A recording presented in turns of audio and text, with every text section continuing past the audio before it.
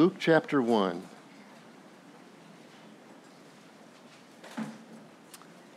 Since Christmas is coming, we're doing a series of sermons this Sunday, or this month rather, around the Advent season. Last week we looked at the wise men in Matthew chapter 2. This week, the birth of John the Baptist. No sermon series about the coming of Christ would complete, really, it'd be absent if we didn't mention John the Baptist as the forerunner to Jesus. Okay? So, I'll just go through these verses with you. Uh, we'll take our time a little bit, draw some application for ourselves. Luke chapter 1, we'll pick it up at verse 5. Before I begin, let me just tell you anybody know what John's name means? In the Hebrew, yes, ma'am. Uh, close?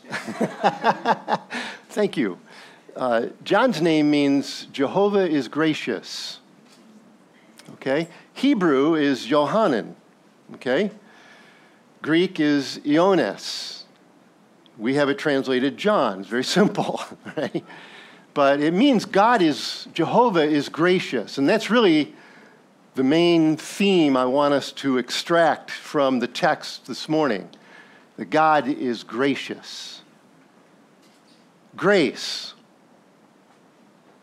Grace, yes, yes, grace. There's a lot of graces. Grace is an attribute of God, it's also the activity of God. Okay, I want, I want you to be clear on that because it's it's a word that is used so heavily in Christendom, rightfully so, and we depend on God's grace. But I just want to be sure and remind ourselves that we know what grace means, what it is. Uh, J.I. Packer said, Grace is a personal activity, God operating in love toward his people. Webster's dictionary simply says grace is favor, kindness shown to another. It's a verb, okay? It's kindness that is shown to another. God is gracious. He's kind. He has favor toward people. Grace is an attribute of God and it's the activity of God, as we'll see in our text this morning, in this very famous story of Zacharias and Elizabeth. Last week we looked, about, eh, looked at the wise men. This week at Zacharias and Elizabeth. In the announcement that they will have a child and they'll name him Johanan. Jehovah is gracious. And God told them to name him that. Because God's sending a message to us prior to the coming of Christ that God is gracious. He's favorable toward you. Listen, brothers and sisters, let me just say this. His grace is what saves us, and it's His grace that keeps saving us. Amen? Sin abounds, grace much more abounds. Romans chapter 5. That means He keeps pouring out His favor and His kindness and His willingness to forgive us. You might come here with a heavy heart because you've screwed up badly this week with word, thought, or action grace much more abounds. He keeps pouring it out through Jesus Christ. So today, the announcement of the birth of John through the angel Gabriel. I'm reading Luke, and I love Luke's account because he gives us the backstory. You know, in Matthew chapter 3, Matthew tells us that um, what's it say? It says that in those days, John came preaching. That's how he introduces John the Baptist to us. Says nothing about his birth, his upbringing, his family, nothing. It's just John came preaching.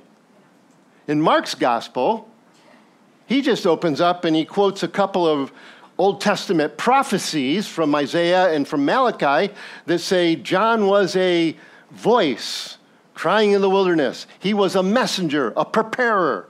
That's Mark. That's how he introduces John to us. John the Apostle, who wrote the Gospel of John, he said, There was a man sent from God whose name was John. The same came for a witness to bear witness of the light that all men through him might believe. He was not that light, but he was sent to bear witness of that light. Luke, I love Luke because Luke gives us the human side. There was family. Now, I can relate to Luke, and I can relate, and that's why I wanted to read it, because I want God to relate to you. God wants to relate to you. And Luke brings God very close to us through the lives of these elderly people. They were senior citizens. It's quite fascinating, actually. When you read the whole story from Zacharias and Elizabeth, of course, Mary was a young girl.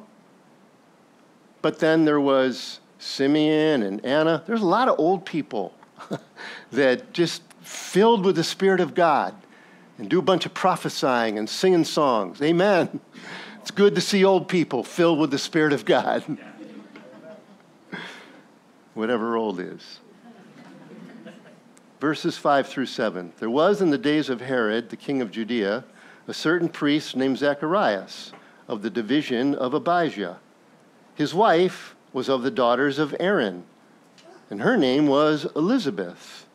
Now, by the way, when it says daughters of Aaron, it means that she was a descendant from Moses' brother Aaron, who was the first high priest. Obviously, she wasn't his daughter, but she was from his family line. So we have good stock here. These are a, a husband and a wife team that have come from uh, a priesthood. Uh, Zacharias is a country priest.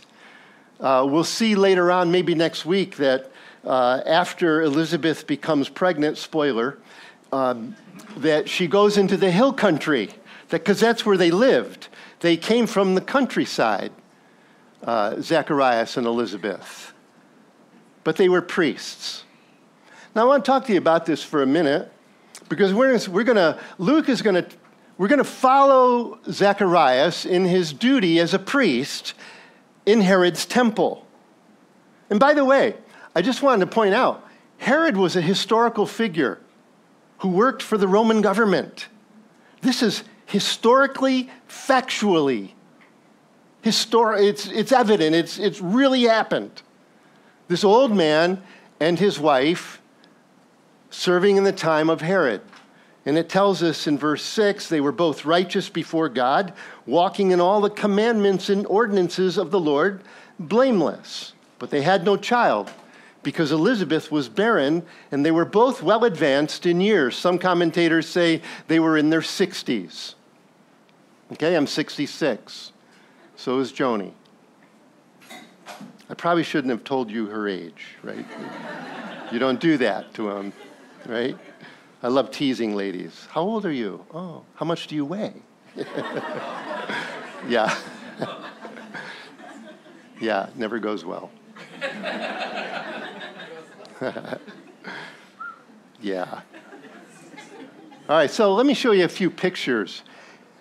Zacharias was a priest and he served in Herod's temple. There's a, there's a replica, that actually is a picture of a replica life, not life size, it's a miniature replica in Jerusalem. If you, when we go to Israel again on tour, uh, we'll go to this site and you can walk around. It. It's quite, you know, it's at knee level, but it's a, a, an accurate depiction of the temple that existed at the time that Zacharias was serving. And I want to point out to you that this area right in here is called the Court of Women. And it's not because that's where only women were allowed and they were segregated. It's just that women were allowed there, but also anybody was allowed there. And you could have upwards of 6,000 people. It was very sizable. Okay? And then through those doors, between this small little archway and that massive structure, is where there was the altar of burnt offering and a laver for washing. And then through those big golden doors, that takes you into the holy place where the priests would go every morning and every evening. Here's a floor plan.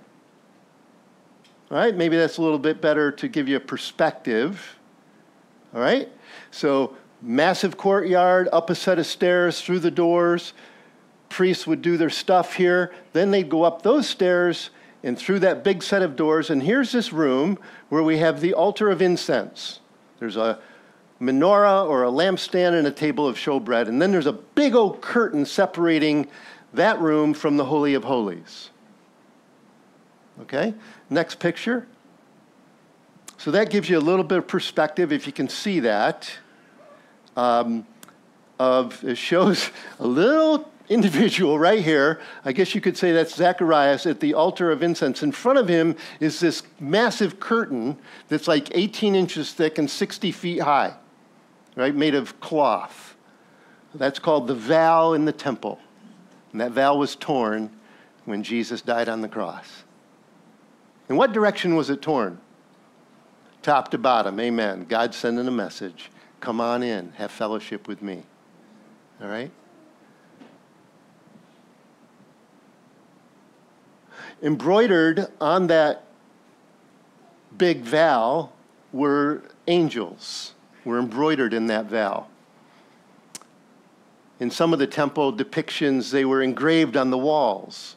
The room was filled with images of angels. Okay? It tells us here in chapter 1, verse 5, that Zacharias was a certain priest of the division of Abijah. Okay? So, what that means is that there was a, a division of labor, literally. And uh, Josephus says that there was probably about 20,000 priests that uh, lived at the time of Zacharias. But King David, back in the Old Testament, took all those priests and he divided them into 24 groups. And so 24 groups. There's 52 weeks in a year. Right? So, about twice a year, one group would be required to come from their hometown, in Zacharias' case, the hill country, and they were required to go into Jerusalem and to serve, the, uh, and serve God on behalf of the people for a week, from Sabbath to Sabbath. Okay? So that's why he's saying the division, he was the eighth of the 24.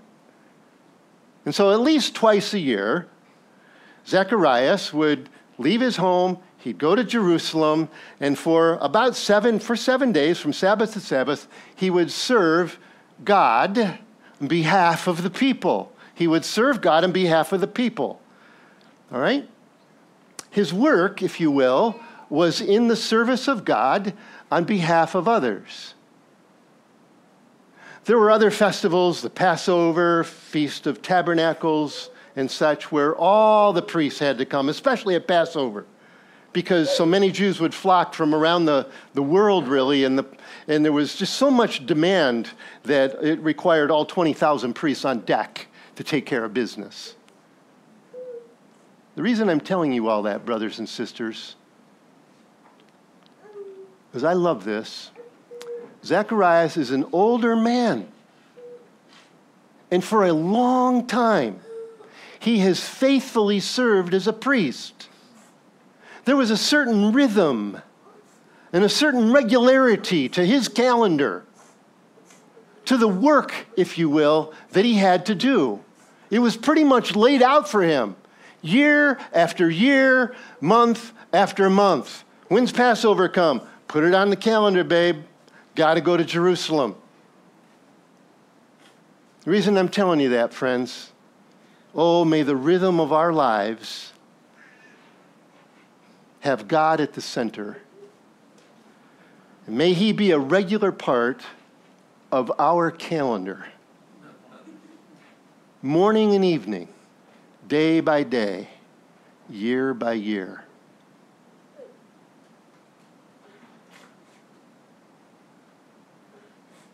Verse 6 They were both righteous before God, walking in all the commandments and ordinances of the Lord, blameless. I'm just taking a few minutes to introduce ourselves to this lovely couple.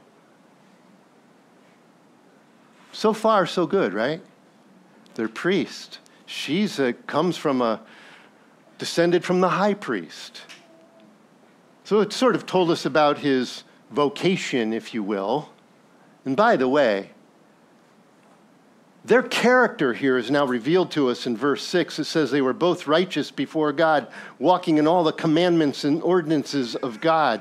It doesn't mean blamelessly, it doesn't mean that they were without sin. You know that. It just means they were honest and they were humble and they recognized they didn't make excuses for their sin and they didn't ignore their little compromises. They would bring it to God in repentance, whether they were in Jerusalem or out in the field back home and they would do business with God in real life, day by day. That's what it's telling us. And I think that's really impressive because Zacharias was a priest. He lived and worked in a priestly culture that was notoriously bad. Right? You've read the Gospels.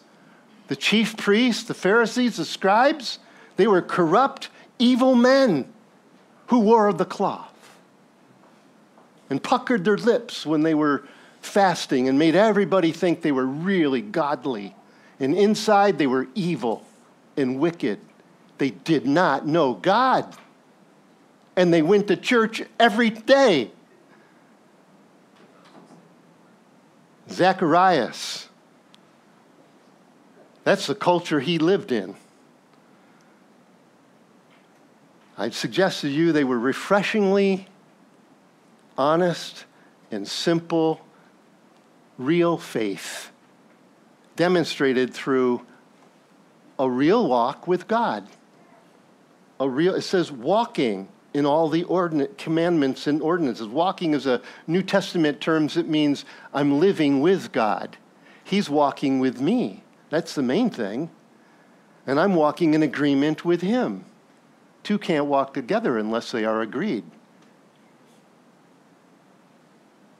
So these people, their calendar, their life was ordered, and it was centered really about the relationship with God. Wonderful people. Wonderful people. Because of their faithfulness and devotion to God, I suggest to you that this elderly couple were just gentle, kind, uh, respectful, thoughtful of others. Um, they really were just reflecting God's grace in their own lives, in the way that they had lived and were living.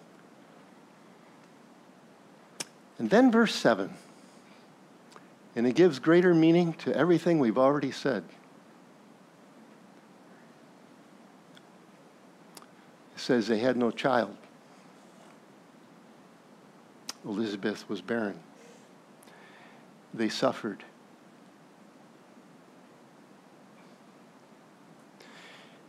They were in that place, brothers and sisters, right really where you and I are, in that they have a real relationship with God, and at the same time, there's this inner sort of tension of, yeah, but why?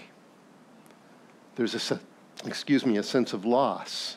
There's a void that they had longed for and expected, and it wasn't there and it never came. And there's that, that real tension that we feel as believers, because we live in a world of, of loss, of void, of emptiness. Their home was empty, there was a brokenness. And there was that kind of odd dynamic of, I love God and I'm walking with Him, and yet, there's been a loss. You might say there's been a loss of life. Some of you know that. You know what it feels like to have a loss of life. I could stretch that a little further and, and just say, well, the one that they had hoped for to be born would have been a, a little innocent one. Maybe you've had a loss of innocence through some bad choices take a lesson from the power of God's grace. That's our message. God is gracious. In their loss, in their suffering, this elderly couple turned back to God again and again and again. Look, the real people. You can be sure it brought attention, it brought hardship in their relationship as a husband, as a wife as they began to look at each other and going, I don't know if I can want to stay in this. This is not what I had hoped for.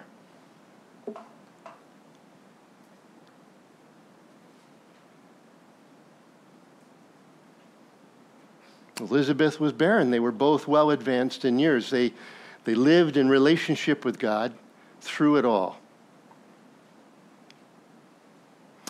And you know what impresses me? They continued to serve. Y'all know that. It can be hard to serve when you're struggling in your own heart, in your own home. And then there's a requirement in Zacharias' case that I go to work, if you will, for God in behalf of people, and I got my own troubles. But this man, and he had the support, I'm guessing, of his lovely wife Elizabeth. He would go to Jerusalem and he would serve. And he'd come before God and he had his own troubles and he would air them out and he would find God's grace affecting him over time. It can be challenging to serve God when disappointment and what seems like a lack of grace from him has been withheld.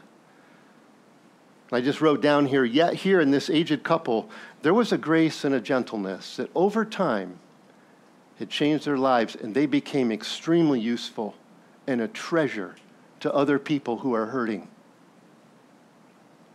It's a reality at Christmas time, isn't it? Amen. From their fellowship with God, their hearts had softened and they had a witness. I'm so thankful for their witness. Well, that's Luke's introduction to this couple. I love his the way he presents the parents of John to us. Right? He, Luke is such a masterful writer. He says in verse 8, So it was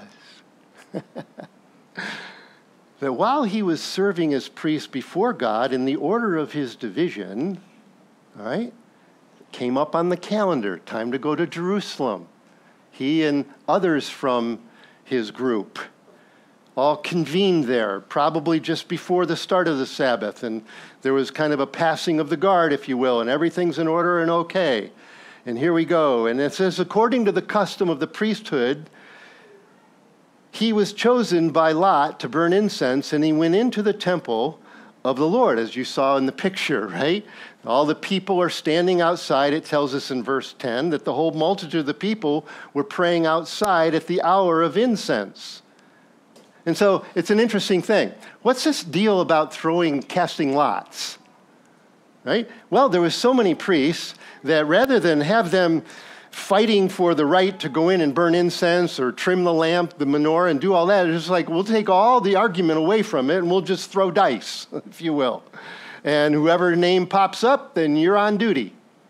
And most commentators say that the, the privilege of going into that holy place that we saw the picture of uh, and burning the incense, which is a type of serving God on behalf of the people. He's bringing his prayers of the people and his own prayers before the Lord every morning, every evening. It was a privilege that would happen once in a lifetime. And once you've had the opportunity, you don't get a second chance.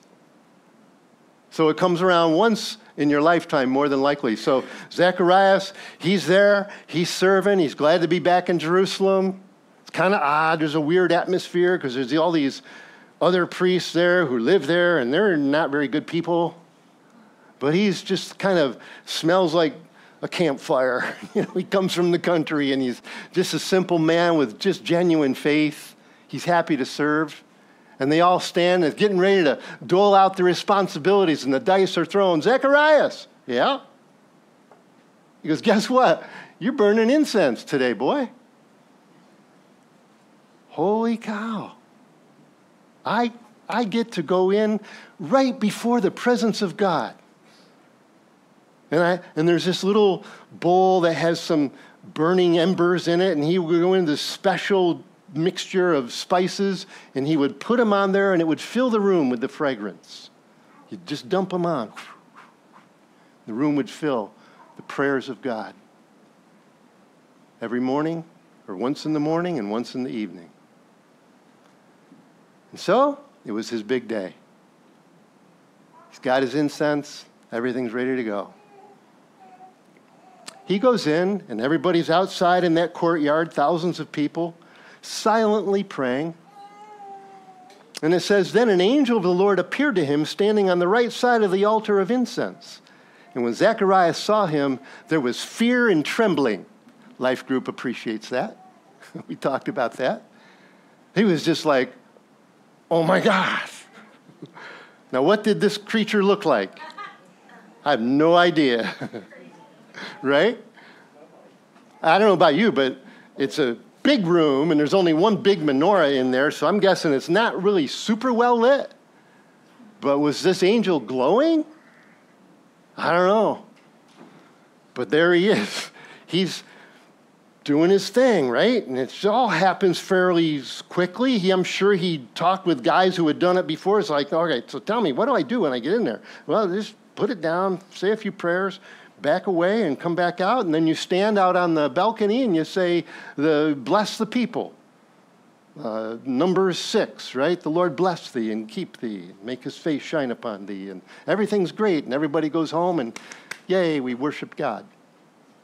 So he's in there, and an angel shows up. Now, the angel's got a lot to say. Verse 13 The angel said to him, Do not be afraid, Zacharias, your prayer is heard, and your wife Elizabeth will bear you a son. And you'll call his name Johanan. All right? You'll bear a son, you call his name Johanan. Well, there's a whole lot of really interesting things there. This angel shows up, and what do we learn from this angel? He knows his name, he knows his wife's name. He knows his future. He knows the name of his future son. And he knows the circumstance in which he's living. And he tells him that I know your prayers. Your prayers have been heard. Have been heard. You ever feel like your prayers aren't heard? Gabriel tells us your prayers are heard. He's come from the throne of God Himself. How long did it take him to get from heaven to the temple? Blink of an eye. And there he is. How'd he get in? I don't know. there he is. Hi. Uh-huh. Zacharias, right? Elizabeth, right?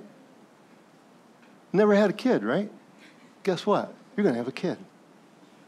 You're old. I, I got a little gray hair there.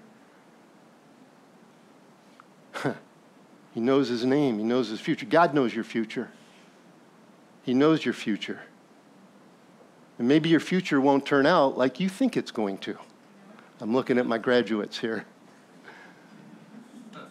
I'm looking at so many that have graduated that I stay in contact with. Got a gentleman in mind right now. Sweet job. LinkedIn.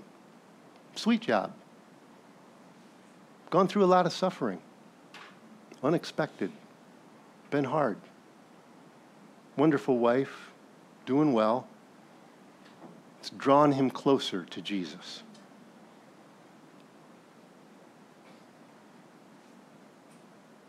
Zacharias comes in, or sorry, uh, the angel said, Don't be afraid.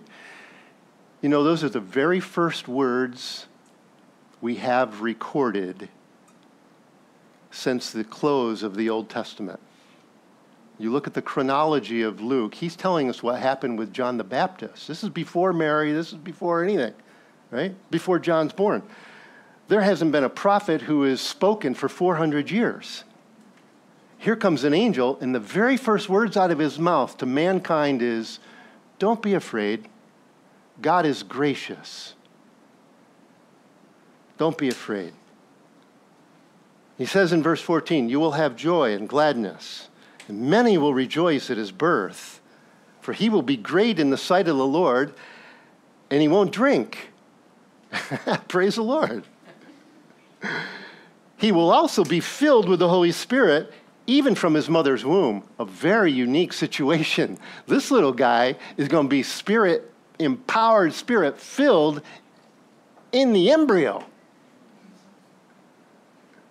That's pretty powerful. Verse 16 Gabriel just keeps talking. He says, He will turn many of the children of Israel to the Lord their God. He will also go before him, God, in the spirit and power of Elijah, to turn the hearts of the fathers to the children and the disobedient to the wisdom of the just, to make ready a people prepared for the Lord. So he tells us, you know, Zechariah and Elizabeth are elderly people, right? They're going to give birth to John. They're going to pass before John grows up and does all this stuff. So it's really gracious of God to tell him, you haven't got to worry. When you say your goodbye to your son, when that day comes, I'm telling you right now, he's going to be a, he's going to be a big man on campus, okay?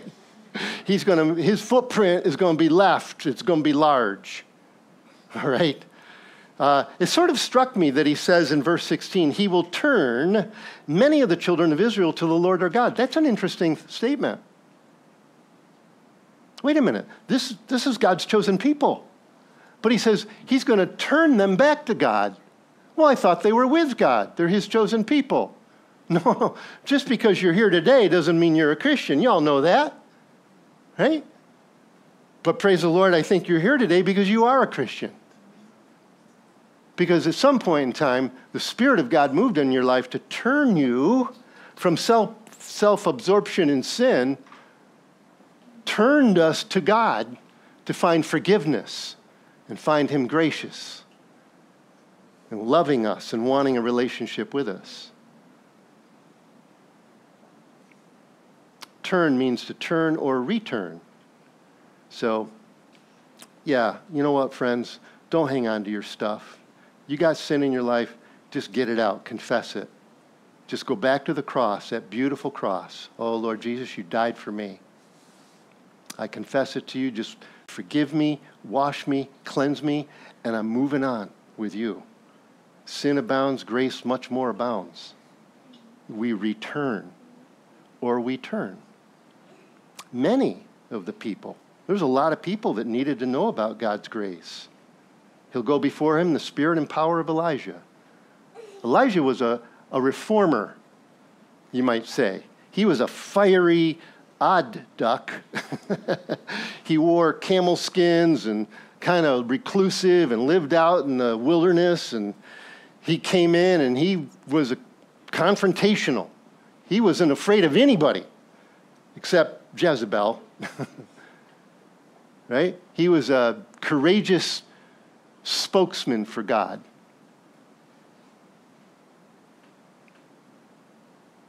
He says he's going to go in the spirit and power of Elijah. We need prophets like that today, amen? Aiden Tozer, A.W. Tozer, defined the kind of prophet in his description of, of that old time prophet. I think it fits Elijah and I think it fits John the Baptist. Tozer said this a prophet like Elijah or John, he's a man who has seen visions of God and heard a voice from the throne. And when he comes, he will stand in flat contradiction to everything our smirking, smooth civilization holds dear. He will contradict, denounce, and protest in the name of God and will earn the hatred and opposition of a large segment of Christendom. Such a man is likely to be lean, rugged, blunt spoken, and a little bit angry with the world.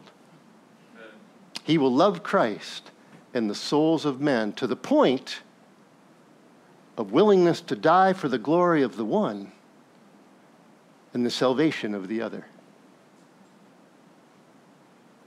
Well said.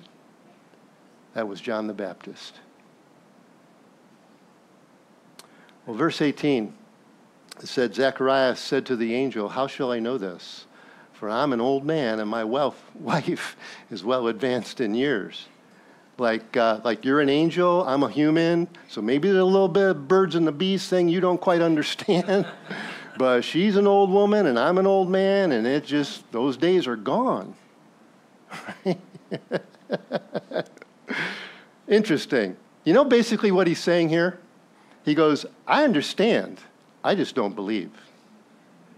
It's exactly the opposite of Mary. Because this same angel shows up to her and tells her something even more supernatural. that you're going to conceive without having sex. And she goes, I believe you, I just don't understand. Very, very different. Zacharias is like, I understand, I just don't believe it. And so he's like, prove it. Show me a sign. It seems inconceivable to me. Y'all get that? All right, thank you, Brandy. Right. The angel answered and said to him, Now notice this I am Gabriel.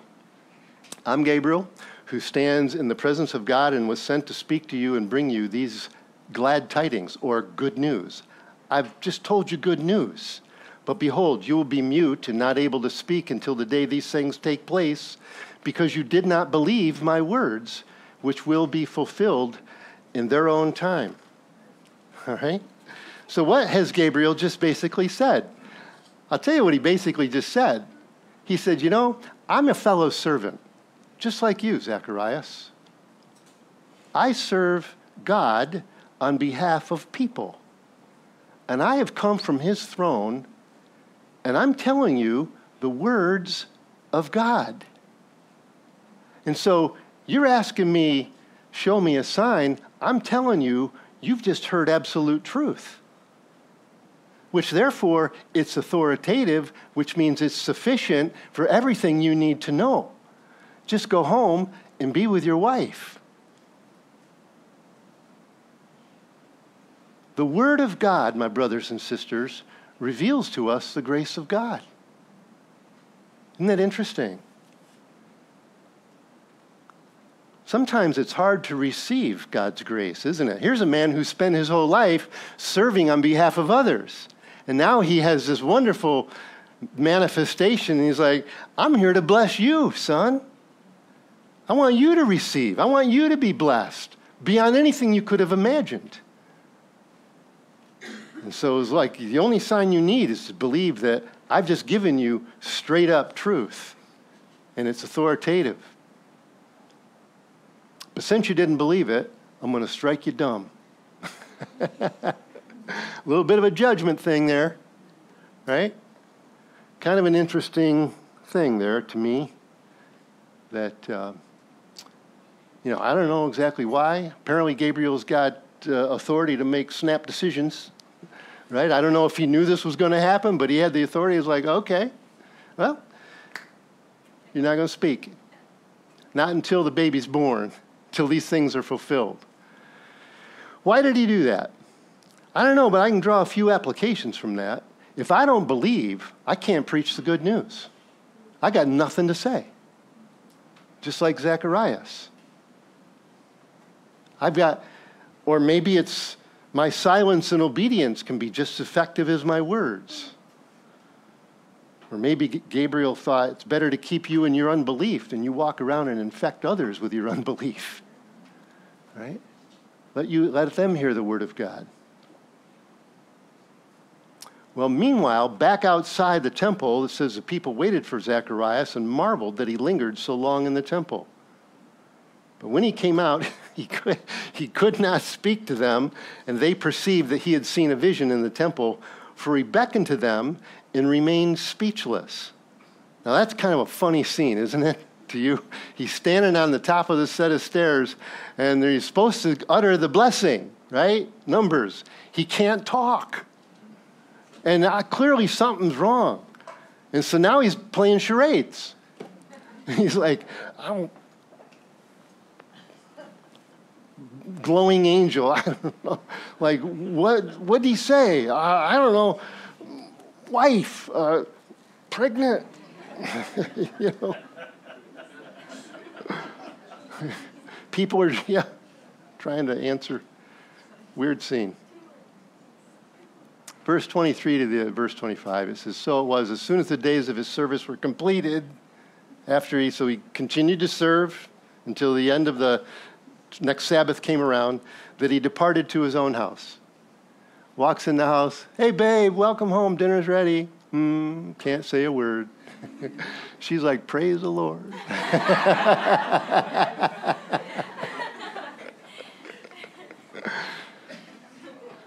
yep. Oh, man.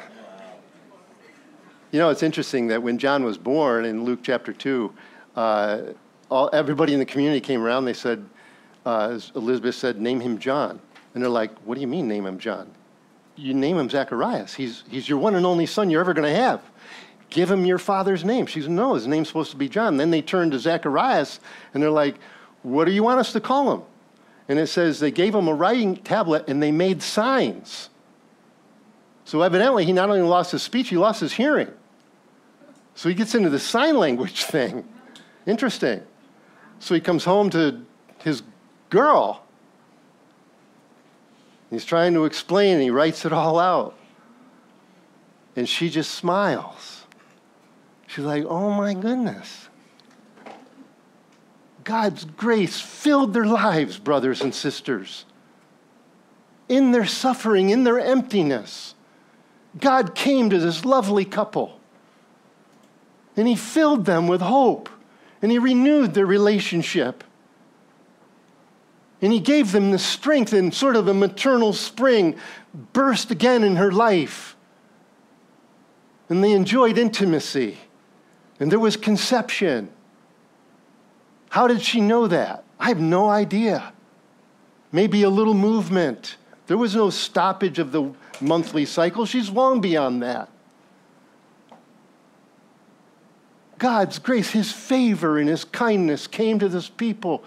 And I want you to call him John so that when you're gone, everybody will go, Jehovah is gracious. And there's a lot of hurting people in this world who have had loss who have lost innocence, who have a lot of scars and deep, deep things in their life, mentally and emotionally. Oh, Jesus, how we need you. How we need you to come and, and just conceive in us hope and faith again in your greatness. And if you choose not to, it's still well with my soul famous lines, right? MercyMe, even if, right? Night after night, I go on the stage and I sing to the broken. But on this night, I just don't think I can. I'm broken. But it's well with my soul.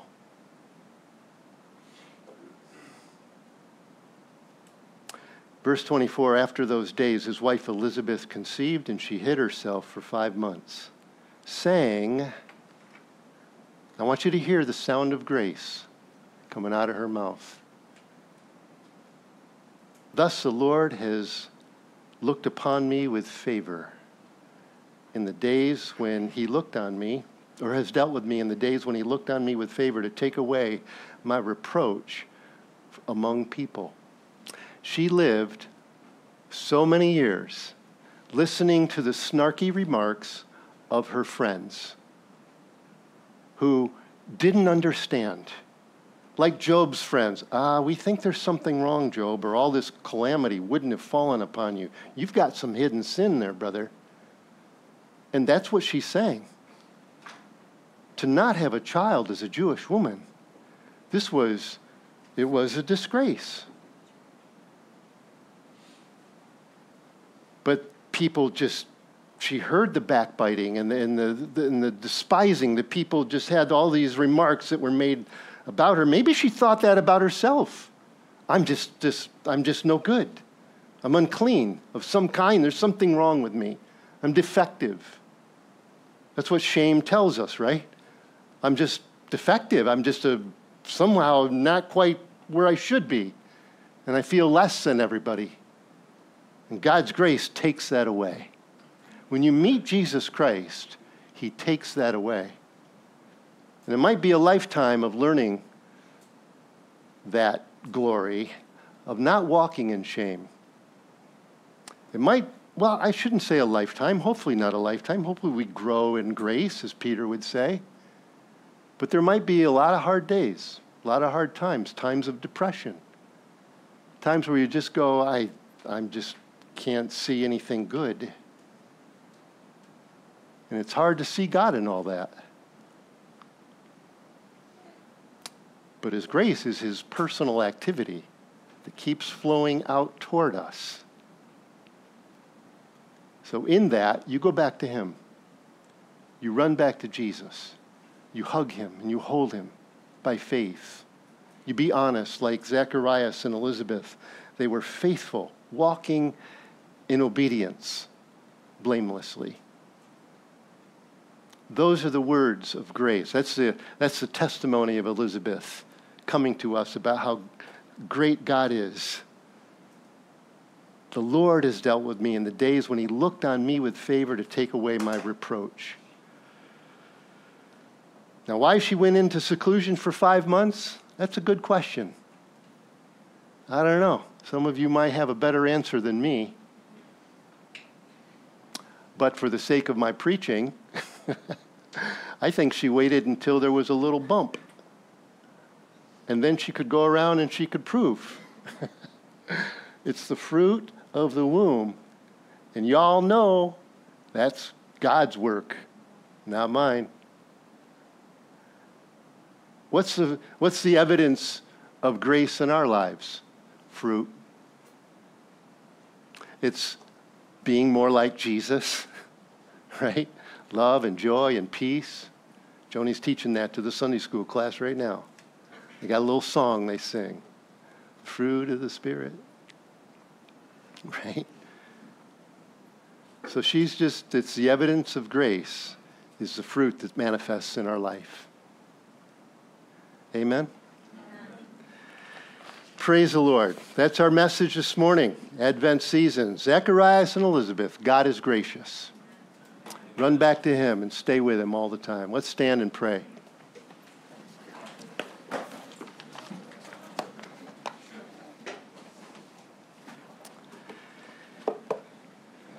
Thank you, Lord. Before I pray, I just want to remind you to grab one of the surveys. We do truly want to hear back from you. Uh, and then contact information is there. You can send your remarks back to leadership. And then also when I say amen, just uh, stack the chairs to the left and right, and we'll bring the tables in, and we'll be eating in a few minutes. All right, Lord, thank you for this lovely story that Luke gives us of a real man, a real woman who encountered God in a way they had not expected, how you filled their lives with joy. Yeah, it had a real outcome. There was a son. But I thank you, Lord, for their faithfulness, for the testimony that they served you and loved you and walked with you. And, and Gabriel acknowledged that. I thank you, Lord. May we emulate them. In Jesus' name, amen. amen. Blessings to you.